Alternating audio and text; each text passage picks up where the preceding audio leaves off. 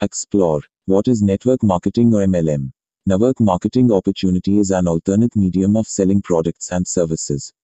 Here the traditional distribution channel like the distributors and retailers are made obsolete and the products are directly sold to the end consumers.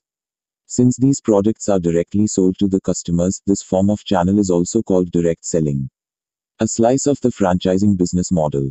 Network marketing uses a small portion of franchising business but in a more refined manner.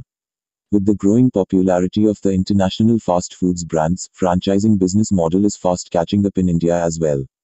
In 1950, there were only 100 companies in The. Today, the figures have surpassed 2,500 in the alone. There are around 9 000 000 franchising units today. The concept is fast catching up and has registered a growth rate of 30% to reach the market size of 7.2 billion United States dollars and has become the second largest growing industry. Though the franchising market is still at a nascent stage in India, but it has shown great promise. The market is expected to cross the 20 billion United States dollars mark by 2013. According to analytical reports, the Indian franchise industry is right now estimated to be standing at $24 billion and is expected to or reach $35 billion by 2020.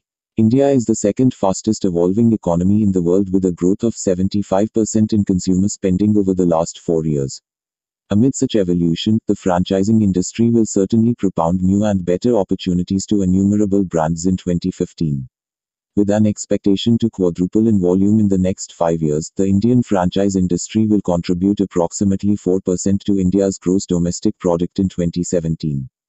Presently there are more than 3,000 franchise brands in India and around 1,000 global brands every year are contemplating enter. Why plans for Indian territories?